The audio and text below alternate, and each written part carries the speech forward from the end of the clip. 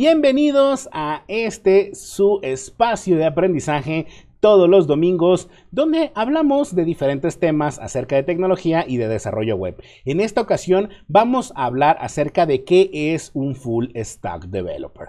Ese es el tema del día de hoy. Y bueno, para los que no me conozcan, pues bueno, yo soy Oscar Barajas Tavares, soy frontend developer, parte del equipo de educación en Platzi, también mejor reconocido como teacher in-house por tener más de 14 cursos actualmente trabajo, ya saben, en Platzi, me encanta la educación y bueno, hay que actualizar esta diapositiva porque dice que voy a ser futuro padre, pero realmente ya ha nacido Oscar David Barajas. Ese es el nombre del developer que también es mejor conocido así en internet. Como sabrán, soy un apasionado de la tecnología y bueno, aquí estoy enseñándote con diferentes temas. Y en este momento ha llegado la forma de que hablemos de un tema controversial acerca del full stack. Así que entremos en ese detalle. ¿Qué es un full stack? ¿Qué va de, por qué este tema y por qué este concepto?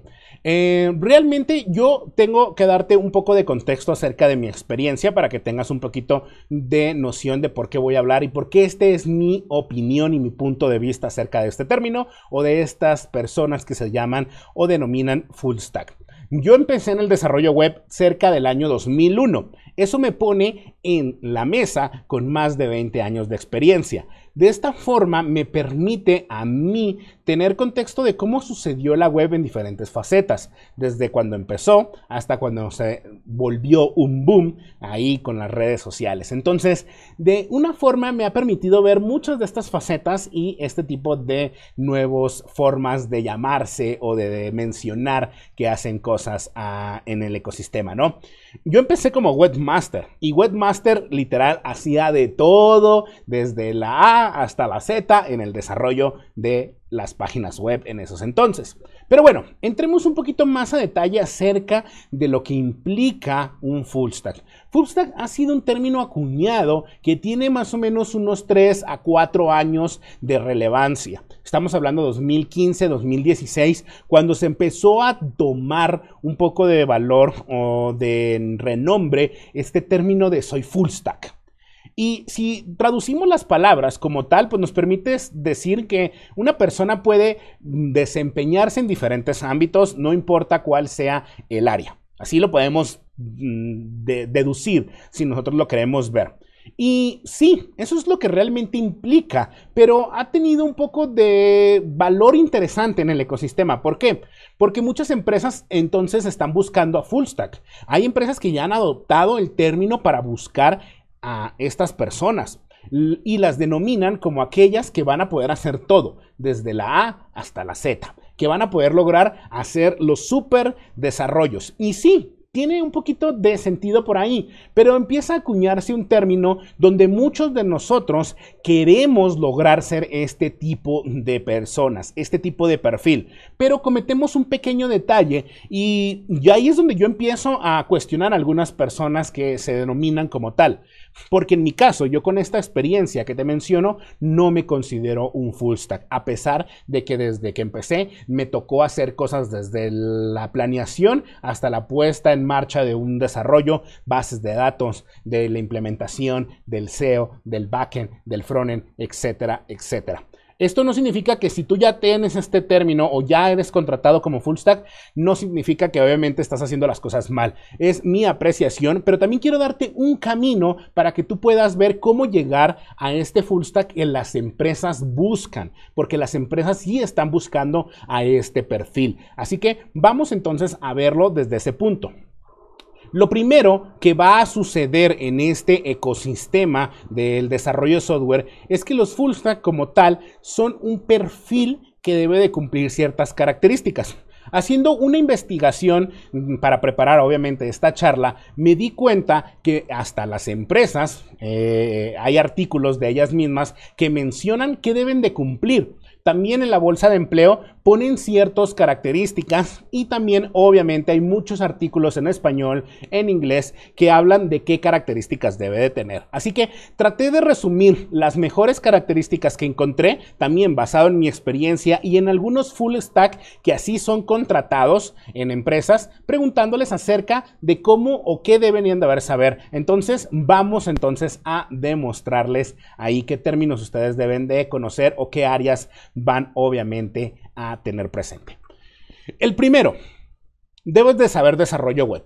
Eso sí, no se, obviamente, no se cuestiona. Aquí debes de tener bases de HTML, de CSS, de JavaScript. Esto es muy fundamental. Un full stack no puede decir, no, es que yo no hago nada que tiene que ver con eh, frontend. No, debes de saber, porque un full stack, como su nombre ya lo está diciendo, debe de tener contexto de lo que implica el desarrollo web, desde eh, lo que es un sitio web, cómo se está estructurado, qué protocolos se utilizan a nivel de un servidor, cómo vas a desplegar obviamente estos sitios, qué implica a nivel del navegador, a nivel del desarrollo, a nivel de la implementación. Así que todo lo que esté englobado dentro del desarrollo web debe de ser clave para ti. Así que obviamente es un punto que tienes que considerar.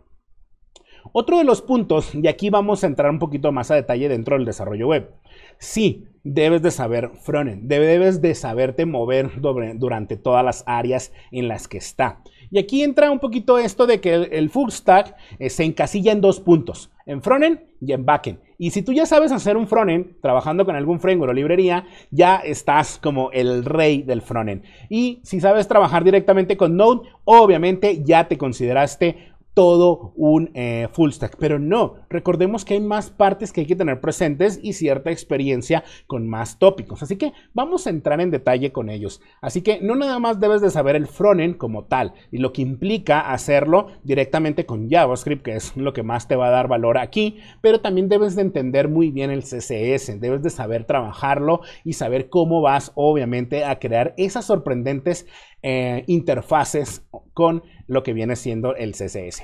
A nivel del backend, yo veo que está muy ligado a que un full stack en JavaScript dice, yo mientras ya sepa eh, trabajar con Node, puedo obviamente ya considerarme full stack. Sí, si lo quieres ver desde el punto donde nada más implicas o metes en las variables a frontend y a backend. Saber Node o JavaScript te va a permitir sí ser mucho más ágil porque con el Node vas a poder hacer obviamente nuestros backend, vas a crear APIs, vas a conectarte con bases de datos y todo lo que implica. Y es perfecto por ahí, pero no es nada más lo que ustedes tienen que saber. Como les digo, basado en la investigación y en, este eh, research que hice y de leer y de buscar y de preguntar, me di cuenta que un full stack no nada más debe saber estos dos términos dentro del desarrollo web, el backend y el front sino que hay más. Y aquí vamos a empezar entonces con lo que además te debe debes de encontrar. Y uno de estos términos es este, DBA, administrador de bases de datos, literal. ¿sí? Este parte también es importante y fundamental. ¿Por qué? Porque tengamos en cuenta que es algo que debes de conocer, que debes de entender y una de las fases importantes dentro del desarrollo web es dónde vamos a almacenar nuestra información, cómo vamos a tener esta información persistente que nos permita a nosotros acceder a ella dentro de lo que sería nuestro desarrollo. No importa si es del lado del backend o del frontend, cómo vamos a conectar toda nuestra aplicación a esta base de datos que vamos a tener, no importa cuál. Aquí se vienen muchas bases de datos que podemos implementar, MySQL, MongoDB, bases de datos relacionales, no relacionales, etcétera, etcétera. Y vamos a poder encontrar un ecosistema grande acá.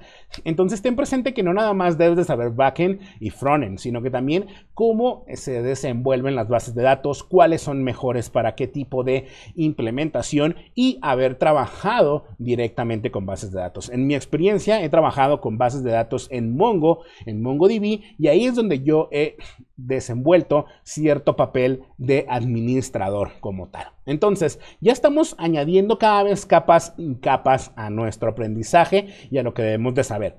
Pero faltan más. Otra de las áreas que denotan para que un full stack se denomine como tal es la nube debes de entender qué implica trabajar con estos servicios en la nube. ¿Y aquí qué es? Bueno, todo lo que implica trabajar con Google Cloud, con Amazon, con Azure, con todas las tecnologías que nos van a permitir a nosotros sacarle provecho a lo que denominamos la nube, que son servidores conectados entre sí que vamos a poder explotar o poder utilizar a nuestro beneficio según sea el caso. Y cada una de estas nubes que nosotros vamos a tener nos dan diferentes capacidades. Recordemos que no nada más es un servicio donde almacenamos la información, sino que ya cada vez tienen diferentes ramas que nos van a permitir a nosotros poder trabajar directamente con nuestros datos, con la información, cómo nos vamos a conectar y todo lo que implica la infraestructura con la cual nosotros vamos a desplegar. Podemos empezar con pequeños servicios como lo que es GitHub Actions, Netlify, pero cada vez vamos a necesitar saber más de cómo se trabaja directamente en la nube. Y esto es un punto muy importante que tienes que tener presente. ¿Cómo voy a desplegar mis aplicaciones? ¿Cómo voy a crear toda una infraestructura que me va a permitir garantizar que mi sitio web va a estar siempre disponible para todos mis usuarios? Así que esto es un punto muy importante que debemos de empezar a trabajar como personas que nos queremos considerar también full stack, porque no nada más es ser backend y frontend y saber de bases de datos, sino, ok, ¿dónde voy a desplegar mi aplicación? Otro de los puntos que yo me di cuenta que solicitan mucho en estos perfiles es que tengan nociones y sepan trabajar con la arquitectura. Cómo van a manipular y manejar toda esta información, cómo van a crear todo un patrón de, que va a estar ligado a cómo se construyen las aplicaciones, cómo van a poder resolver problemas ligados a la estructura de la información que van a manejar, cómo van a eh, tomar decisiones, porque eso es un punto también ya de liderazgo, de management, de cómo ustedes deben de saber directamente qué implica el desarrollo web, cómo van a usar ciertas tecnologías, qué implica mezclarlas o trabajar directamente con ellas, cómo van a trabajar pensando en microservicios, en toda una estructura que nos va a llevar obviamente a que esa aplicación o proyecto que estemos trabajando cumpla con los objetivos idóneos. Así que saber acerca de la arquitectura web, de patrones de diseño de software, entre otras características que nos van a dar a nosotros la habilidad de poder tomar decisiones y saber qué stack, qué, en qué momento ejecutar, cómo lo vamos a llevar, es clave para que tú puedas avanzar como profesional. Así que esto es un punto que también le debes de poner un poquito de atención en tu crecimiento profesional. Otro de los puntos que aquí también es cuestionable y este lo estuve preguntando a varias personas porque fue como interesante. Debes de saber trabajar aplicaciones mobile porque ahí tu nombre lo dice, full stack. Tú te puedes mover en diferentes stacks, backend, frontend, bases de datos, DBA, eh, cloud y obviamente poder conectar esto que estás haciendo con alguna aplicación. No todas las empresas o productos o servicios que tienen un sitio web dependen de tener una aplicación mobile, pero hoy en día muchas de las aplicaciones sí tienen una aplicación móvil que consume cierto contenido. Entonces tú también debes de estar eh, con la mentalidad abierta y de pensar cómo puedes llevar tu conocimiento a esta área. Lo pregunté a algunos de los que ya tienen este puesto y sí han tocado ya sea código que tiene que ver con aplicaciones mobile. Independientemente que sea nativo, o sea, hablando de lenguajes como Java, Kotlin o Swift, sino que también lo han hecho directamente con JavaScript haciendo Ionic o React Native. Así que obviamente las personas con las cuales he platicado acerca del concepto full stack y cómo se desempeñan me dieron este insight de que también debes de tener noción de haber trabajado directamente con aplicaciones mobile. Así que es un punto que si tú ya te consideras un full stack o estás en ese proceso de querer crecer como e, este perfil, porque obviamente es donde hay también mucho empleo, pues debes de considerar haber trabajado o haber tenido cierta experiencia en el desarrollo de aplicaciones mobile. Así que es un punto que debes de tener presente. Vamos por otro tema muy importante, DevOps, que no es lo mismo de cloud y hay que tener presente. La nube es donde se despliega, qué tecnologías tenemos, cómo podemos aprovecharlas directamente. Pero DevOps es todo un proceso, es toda una integración que vamos a poder dar a un flujo de nuestra aplicación, desde cómo va a trabajar directamente los despliegues, cómo vamos a implementar diferentes tipos de servidores, las cargas, el balanceo de datos, la administración de las bases de datos, cómo vamos a tener todo interconectado y cómo un perfil denominado DevOps va a poder orquestar toda nuestra aplicación. Cómo va a coordinar que los frontend desplieguen de forma correcta, que los backend cuando desplieguen no dañen a los frontend, que la base de datos se mantenga respaldada, que la información se mantenga 100% en línea. Así que obviamente el perfil de DevOps es entender cómo vamos a generar este despliegue, qué implica para trabajar con la parte de los despliegues, en este caso la integración continua y la distribución continua. Y ustedes lo van a ver como CDCI que van a poderlo encontrar directamente con mucha información. Y aquí es muy importante y valioso que ustedes consideren que un DevOps es una persona que conoce cómo va a trabajar directamente todas las facetas también de, obviamente, el desarrollo de software, porque las va a implementar directamente o debe de saber cómo resolver problemas cuando se susciten a nivel de los servidores. Así que tengan presente que este es un punto que también ustedes deben de considerar para poder estar trabajando directamente como personas que colaboran en una empresa, DevOps. Así que tenganlo presente desde este punto.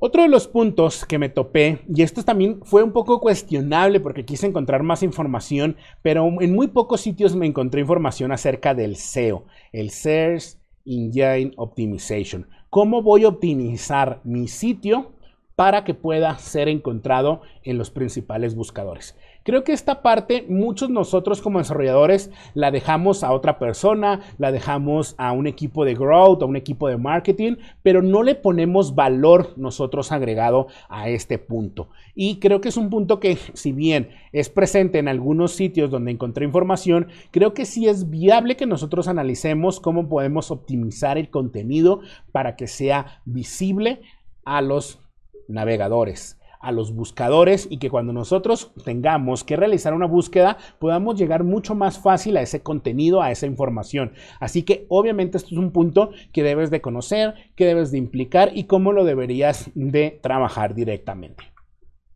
Otro punto es la seguridad. Y aquí creo que obviamente debes de considerar bastante mucho lo que implica. Si bien este punto también está ligado al área del DevOps, porque el DevOps es el encargado también de orquestar que muchas de las cosas pasen por un proceso eh, seguro, una forma en la que la información viaje sin que se exponga, pero también debes de tener nociones de lo que implica seguridad desde tu eh, persona, en el implico de cómo manejar un password manager, cómo manejar la seguridad, autenticación dos pasos, protocolos de respaldos, entre otras formas que debemos de garantizar para que la información cumpla su objetivo tener la información segura siempre va a ser también importante. Que la base de datos no esté expuesta es importante. Que nosotros como backend resolvamos un problema, pero no expongamos cierta información al público que no deba de estar pública. Así que la seguridad es un factor importante que también debes de considerar en el proceso de convertirte a un full stack. Así que este es uno de los puntos que quiero que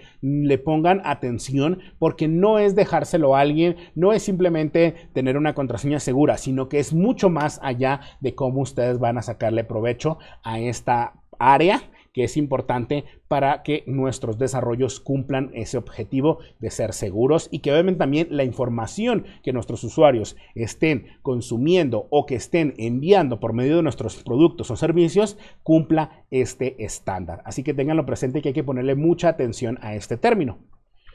Y bueno, llegando aquí a una faceta, entonces el desarrollador full stack en el ámbito laboral, ¿qué implica? Ya me diste los términos o los puntos que debo de saber y que me abruman porque obviamente son casi nueve o diez puntos particulares. Hay algo importante que hay que tener y hay que hacer énfasis. No hay full stack juniors. No hay este término full stack junior. Si nosotros le pusiéramos mínimo a cada una de estas áreas distintas eh, un tiempo mínimo de desarrollo, hablando de seis meses, estamos hablando que debes de tener un promedio de tres a cuatro años de experiencia. Entonces, un junior no tiene esa experiencia. Entonces, yo he visto algunas personas que mencionan, soy full stack junior, pero ¿cómo puedes ser un full stack junior si no has pasado por todas estas facetas? ¿Qué significa pasar por todas estas facetas? Y aquí es donde viene lo controversial del término. No significa que eh, no has trabajado con ellas Puede que de las 10 que yo mencioné aquí, y faltarían algunas más porque no mencioné accesibilidad, y ese es un punto también importante, no mencioné internacionalización, que es cómo vamos a llevar a todos los idiomas nuestro desarrollo, que son otras áreas que también estarían ahí presentes. ¿Qué significa? Que no nada más es ser frontend y backend, sino que implica entender desde el inicio hasta la puesta en producción de un producto o servicio todas esas áreas a las personas que hablé acerca de su puesto, su rol como full stack, ellos me mencionan que suelen tener cada tres a seis meses un cambio de proyecto. Suelen resolver o trabajar en un área específica, donde ahora están haciendo cosas con Node, donde mañana están resolviendo cosas en el frontend, donde están trabajando y optimizando sus bases de datos, donde les ha tocado implementar todo el seguimiento y el tracking de eventos. Así que de alguna forma, una persona que se busca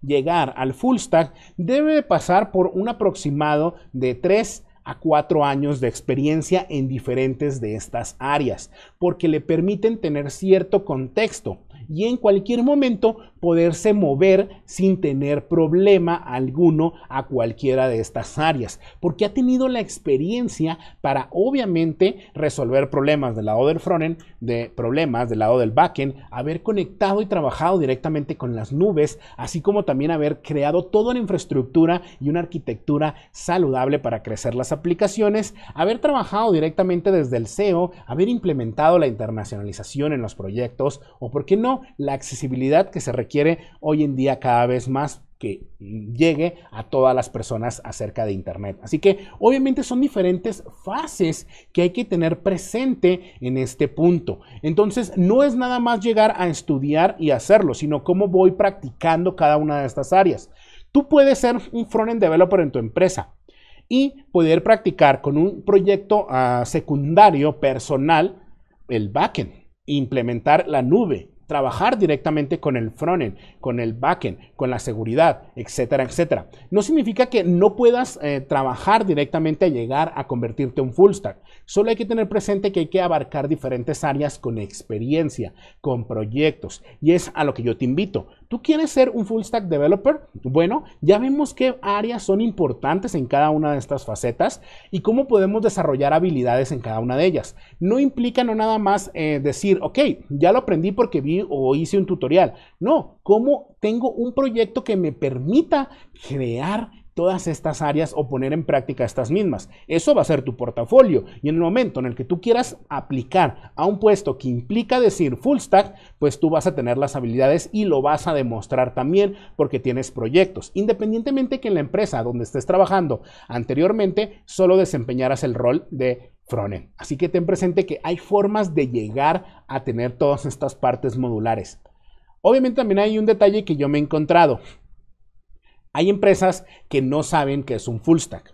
Simplemente saben o tienen en su idea que un full stack es el que sabe hacer todo. Pero ya cuando empiezas a leer la descripción del puesto, termina siendo solamente un frontend. Así que hay que tener cuidado también con esas ofertas donde sí, se busca Full Stack Developer. ¡Wow! Quiero serlo. Pero si ya ves el rol o las tareas o las asignaciones, te topas que eso realmente solamente ser frontend o solamente ser backend. Así que hay que tener cuidado con esas ofertas. Cuando ustedes entren a un equipo donde vas a tener este rol, ten presente que vas a poderte mover y que también te vas a mantener eh, estudiando o buscando o obviamente moviéndote en diferentes áreas investigando. Así que no nada más es quedarte con que ya sabes hacerlo o que lo implementaste una sola vez, sino que te mantienes aprendiendo constantemente. Ese también va a ser un factor que debes de tener como persona para considerarte un full stack. En mi caso, yo no me considero un full stack. Para mí, siempre me voy a denombrar como un frontend developer porque esa es la área que más me gusta.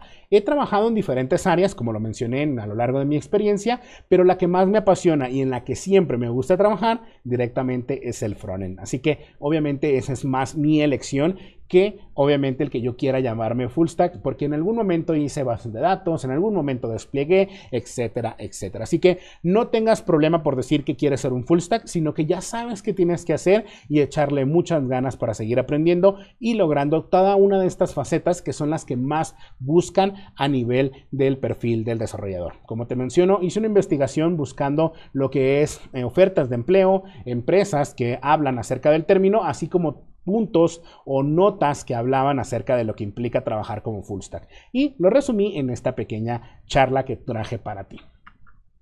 Bueno, agradecerles una vez más por este espacio que ustedes me hacen crear para todos ustedes. Recordemos, esto es un frontend en cuarentena todos los domingos a las 6 de la tarde, hora Colombia, acá en Twitch. Y te invito a que me sigas en mis principales redes sociales como arroba gndx, así como también en mi blog gndx.dev.